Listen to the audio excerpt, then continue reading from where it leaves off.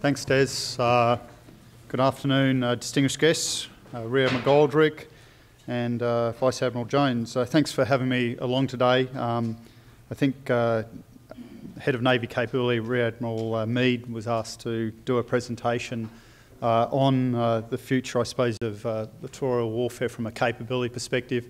Um, he's currently in Oxford with his cravat and his pocket handkerchief on a development course, but that didn't go over the web, did it? No.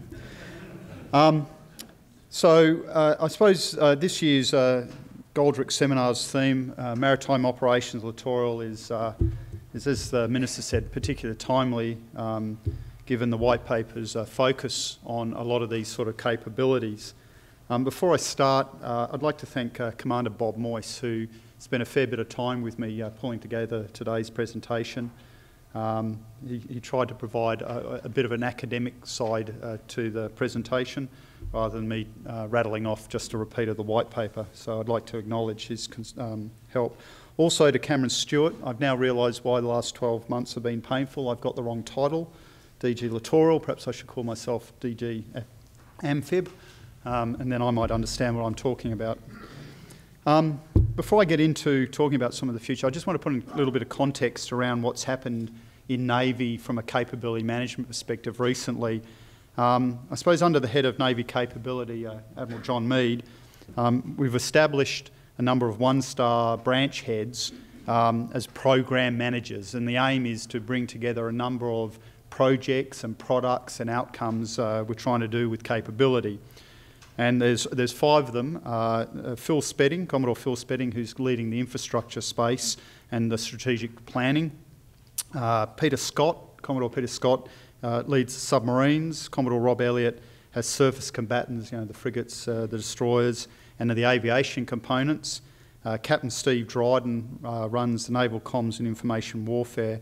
And myself, I have the littoral programs which include amphibious uh, float support tankers and the sea lift components, mine warfare, hydrographic and oceanographic capabilities, and the patrol forces. So between the five of us um, and, and HNC, we work with our fleet counterparts, and I note uh, ComSurf Lee Goddard's here today, um, and Captain Mick Harris, who's COMMHP. And in a what I call, you know, we use this supporting supporting uh, relationship. Every now and again, we take a Facebook photograph to prove we are working together. Um, but we're ultimately responsible for delivering this new capability life cycle brought about by the First Principles Review. Um, and that you know, includes the force design, those needs, requirements and risk reduction phases, acquisition phase, then obviously in service and, and disposal. And I think establishing a DG littoral position now allows the development of a program strategies and a program view across the littoral capabilities. And I, am working with then particularly my Army counterpart, uh, DG Modernisation Army, uh, Brigadier Chris Mills, now allows us, I think, to, in the future going forward, look strategically at a program level and across this new capabilities life cycle to deliver, deliver a better capability for government, for the Australian people and ultimately uh, uh, for Navy. So uh, as the Minister pointed out this morning, earlier this year the government released uh, four important documents which bear on today's subject of littoral warfare. Uh, the White Paper, the Integrated Investment Program, Defence Industry Policy and the First Principles Review. It's important to understand that these four documents are interdependent a change to anyone has implications uh, for the others. The Integrated Investment Plan and Defence Industry Policy about equipping the Defence Force to face the strategic challenges of the coming decades, but they are subordinate to the White Paper, which is first and foremost about strategy. The acquisition decisions in the, in the related investment program are strategy-led. In the past, it's not always been the case. The recent white paper tells us a number of things. It tells us what our strategic defence interests and strategic defence objectives are. It creates a number of capability streams, including a new land combat and amphibious warfare stream, led by the Chief of Army, where the Chief of Navy is the capability manager for a number of littoral-related programs, including amphibious combat, mine warfare, hydro hydrography and patrol capabilities, which, as I said, is part of my, which, which is my branch. The first principles review reshaped the department around a strategic centre based on strategic policy and intelligence group and the VCDF group.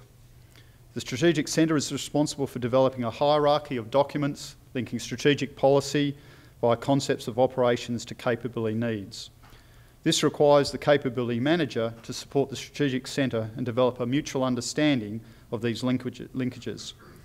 This is especially true in the area of littoral warfare. My aim today is to highlight some of the challenges that the services and the strategic centre will face as we turn the government's in integrated investment program into capabilities that relate to strategy and the littoral.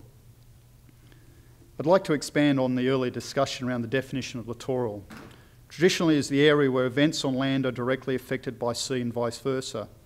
In the days of Mahan, Corbett, the littoral was basically can cannon range. Modern long range aircraft and missiles extend that area to a point where the concept becomes boundless. For it to be useful, I believe we need to bound it to the area where operations in either environment can potentially dominate rather than merely affect the other. As Australians, we need to recognise that warfare in the littorals of a continent is not the same as warfare in the littorals of the archipelago. We live in the world's most archipelagic region, but you will be hard pressed to find any anything written by an Australian on the subject of archipelagic warfare. Perhaps today is the start of that. Historically, Western navies have tended to focus on blue water warfare and armies on continental warfare. What can we learn from countries that have a history of littoral thinking and operations? How would we fight alongside our archipelagic neighbours, both and without United States support? How should we develop our littoral capabilities? Corbett wrote more than Mahan about the interaction between sea and land. He famously stated that, I quote, Since men live upon the land and not upon the sea, great issues between nations at war have always been decided, except in the rarest cases, either by what your army can do against your enemy's territory and national life, or else by the fear of what the fleet makes it possible for your army to do. Corbett was writing as an Englishman adjacent to the European continent, and in that context, the centre of gravity will always lie on land. So what he said was true. Had he lived where we live, I think he would have recognised that the centre of gravity in archipelagic war does not necessarily lie on any single landmass. What I'm about to say is uh, most probably obvious, and that no, no one bothers to say this uh, and is forgotten, but in an archipelago, sorry, all the sea is joined together but the land is separated. What means, sorry, that means the only option for joint manoeuvre is the sea. However, your freedom to manoeuvre at sea depends on your ability to neutralise threats from land. Understanding the independence and the relative strengths of the land and maritime power is central to how we think about fighting in the littoral and what capabilities defence, particularly Navy, should develop. In the, in the geography of our region, operations from the land can dominate the sea and vice versa.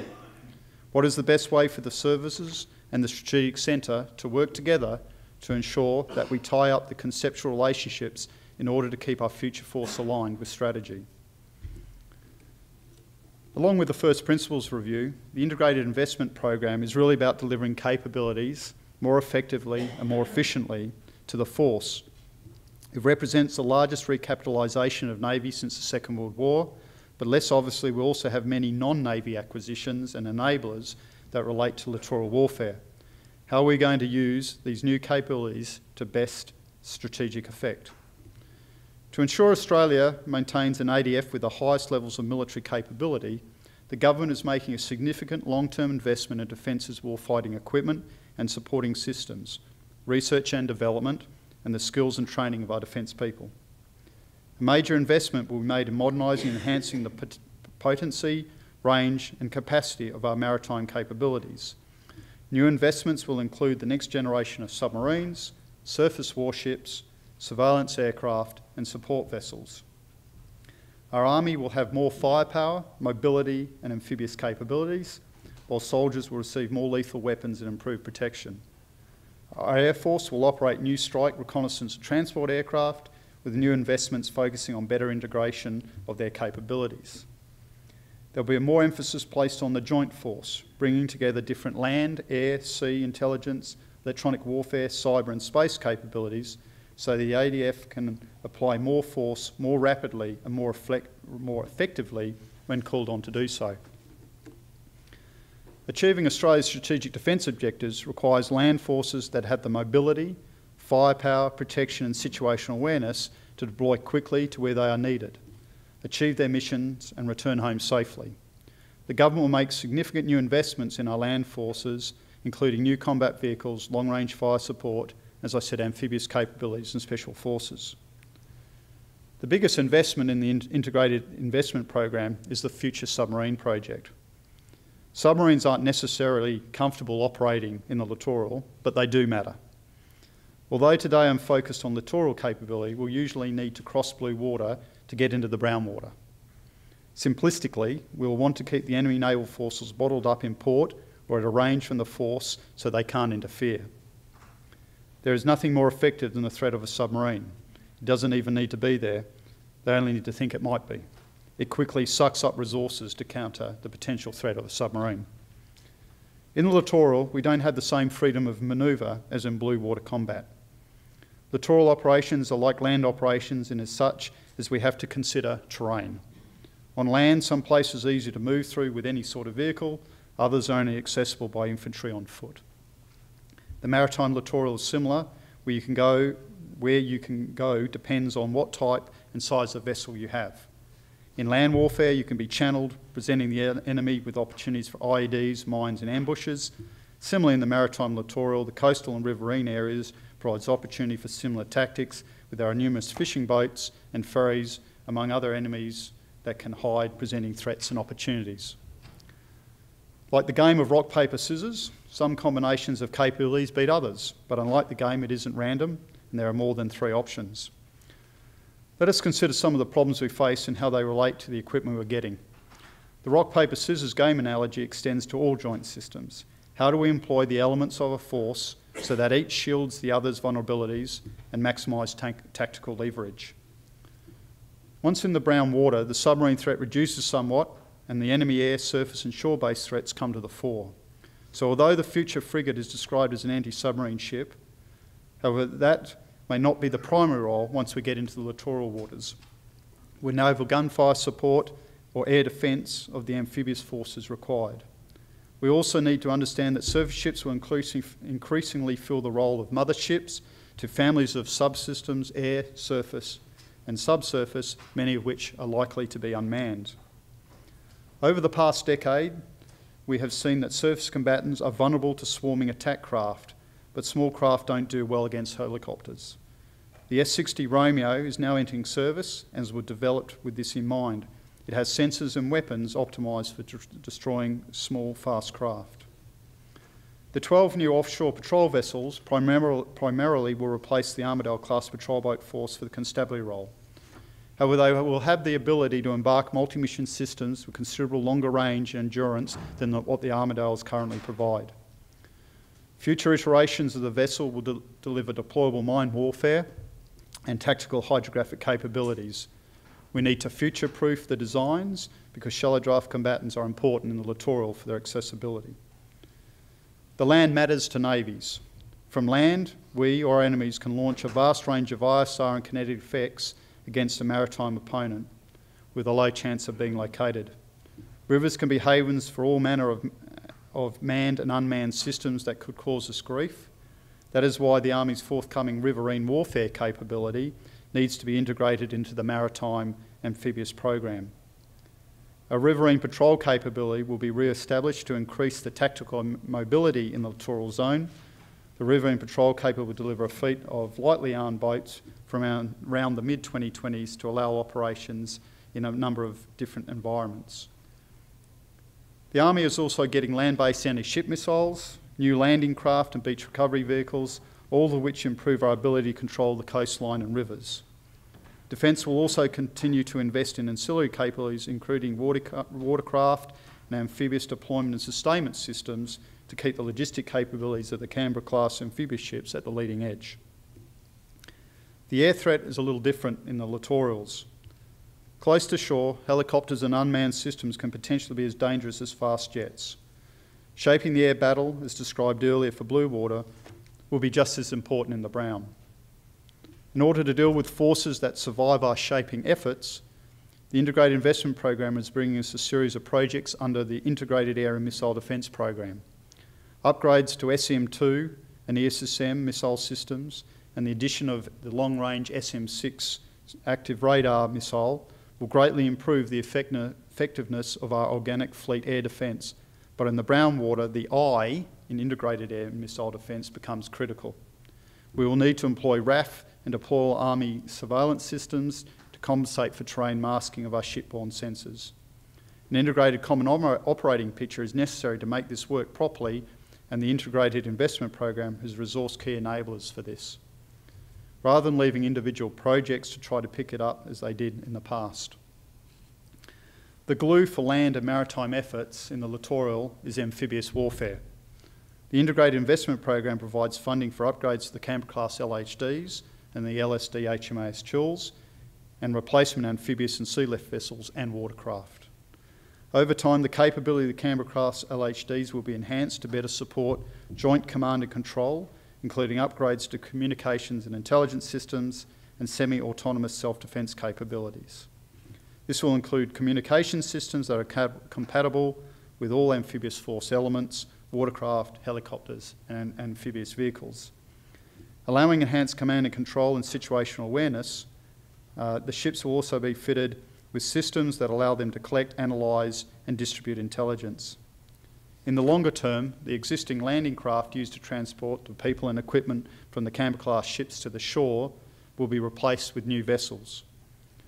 Planned investment in Choules includes updating the ship's battle management and command and control communication and intelligence capabilities to enable it to work effectively with the Canberra-class amphibious ships.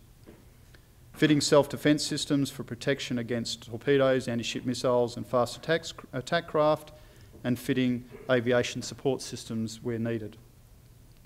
The Integrated Investment Program also provides for the replacement of Choules around 2030 Choules has demonstrated the benefits of this type of vessel in extending the reach of the ADF and enhancing our capacity to deploy larger and better equipped forces. One area we've been focusing on is making sure we invest properly in sustainment. We have known for a long time that the return is well worth the investment, but it's not as simple as it sounds and we'll still have work to do in this area. How will we use the channeling effects of hydro hydrography, high maritime density and proximate land to our advantage and to the enemy's disadvantage? How do we ensure in peacetime that we have the hydrographic intelligence we need in war? These factors need to be considered holistically as we develop our concepts for our mine countermeasures and hydrographic platforms and their various subsystems. The traditional Western perception of this is shaped by World War II in Europe, in which a continental strategy was necessary. The enemy's centre of gravity was on land, and amphibious operations were merely enablers for subsequent decisive action ashore. In our archipelagic geography, focusing on any single landmass invites bypassing by sea. Therefore, I suggest the centre of gravity in an archipelagic campaign is likely to be controlling the medium of manoeuvre, the sea. The role of the amphibious force in project power ashore only when and where it affects sea control. Modern amphibious forces have relatively modest land combat power and cannot therefore go head to head against significant enemy land power. Their strength lies in their mobility and agility, not their combat weight. Their objectives must be realistic. They need to isolate targets in time and space and complete the mission before the enemy can make numerical preponderance count. Hence, the threat is manageable within our capability of the force. If we are to exploit manoeuvre rather than mass, it will affect our whole approach to littoral warfare, including hydro hydrography and mine warfare. Manoeuvre is all about avoiding enemy responses by exploiting movement, and that is time dependent. Traditional hydrography and mine warfare is far too slow for this. We need to build a geospatial intelligence base before conflict starts. There, where can our deep draft amphibious ships go that submarines can't, for example? What beaches are suitable for landings? What areas are easy or difficult to mine? The temporal demands of manoeuvre are such as to rule out clearing any substantial numbers. The approach to mines is more likely to be identify and avoid rather than clear a way through. This may imply having no surface assault and entirely rotary landings. Sure, this limits the combat weight that can be applied, but the whole point of manoeuvre is to attack where you don't need masses of combat power. To return to my starting theme, the best defence against mines is to land where you're not expected and unpredictably depends on having the hydrographic intelligence to allow freedom of manoeuvre. To support this, There are no less than eight geospatial projects in the Integrated Investment Program. The Integrated Investment Program provides a number of opportunities to develop our geospatial capabilities. The current fleet of two large and four small ADF hydrographic survey vessels will be progressively retired from the early 20s. Navy will replace this capability with an efficient combination of military and commercial hydrographic and oceanographic survey capabilities, excuse me, to de deliver the required capacity. Subject to de developments in technology, modular systems could in the future enable enhanced hydrographic capabilities from non-specialised vessels suitable for tasks including rapid environmental assessment and support of operations. The proposed strategic collection vessels and improved data management ca capabilities are required to meet both our national charting and military intelligence needs. The Integrated Investment Program also provides opportunities to develop new capabilities and operating concepts for deployment of autonomous underwater vehicles and more capable sensors technology to detect mines and survey the inshore region ahead of the amphibious force.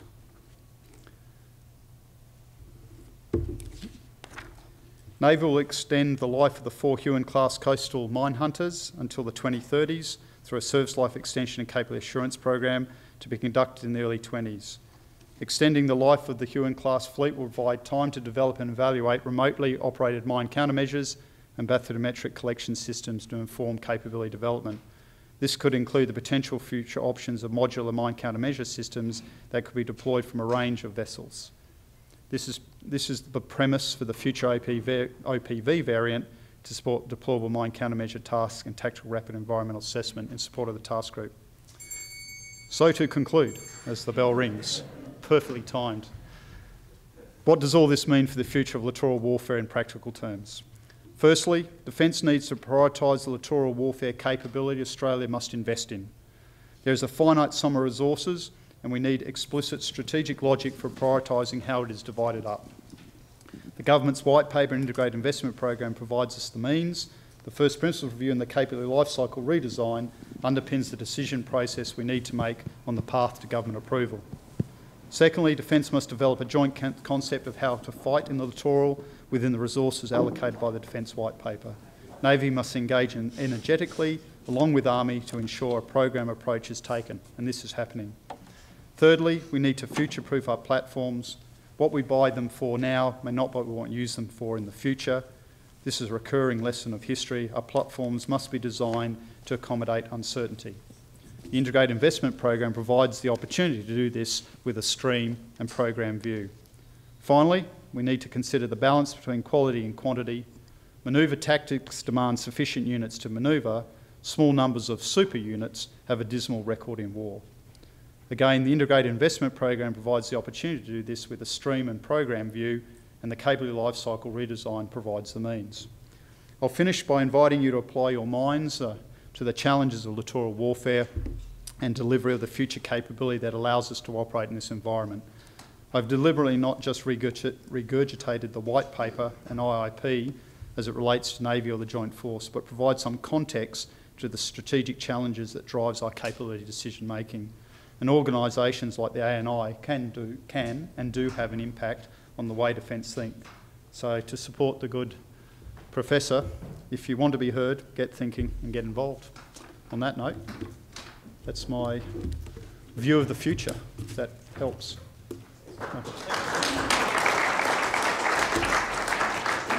Two quick questions. Any direction? Yes. You there's a good appreciation for some of the technology challenges facing the falls, both in the environment and operations? And to say not just future activities we're looking at, but some of the more familiar systems like limitations of radar and missile performance, and also you know, freshwater generation, seawater cooling, those sort of aspects. Yeah, I think I think it is, and I, as the more we play in the space, like with the new LHDs, you know, they have systems like you know, you know, RO plants and uh, surge systems. I think we're going to get lessons learned, and we're going to build our experience. The other thing is uh, there's a lot of uh, commercial technology out there which is already dealing with a lot of those type systems. And, but I think as you know, IMO standards and national park standards start changing, that's going to put a lot of demand on our resources to keep up with it. So you've got to do a certain amount of future proofing. In terms of the weapon technology, sensor technologies, I think there's a number of aspects. Um, the theory of radar is what it's been for you know, mil- millions of years, and you can't change that. But what we're seeing in some of our technologies, like CA radar, and, and what we see in the Aegis technologies, they're exploiting the environment and those and the, the, the bounds, the limits of, of some of the science we've got at the moment to try and work that. But you can't just do it with one sensor or one weapon, and that comes back to that integrated uh, approach. And I think where Air Force and Army and Navy are going in that integrated air missile defence is where you have a number of sensors, a number of weapon systems integrated, which allows you to work around the terrain or the environment you're in. The other area, though, where I think we do need to get in a lot of work, I mean, everybody talks about UAVs and how cool they are, and you see it every day on the news, but it's the underwater autonomous vehicles. And there's a lot of work going in the commercial sector and those, and we're actually doing this with one of the um, deployable mine warfare programs and the REA program, where we're using that technology and we're applying commercial technology in a military context. So we've got a big journey to do, and we need academia, academia, we need science, we need industry to come together, and we're going to develop a program to do that around those autonomous vehicles to work out over the next 10 years, you know, where best to go. Um, so yeah, I think it is recognised, but it, it requires a whole bunch of smart people um, with a program view of how to how to get the best out of that.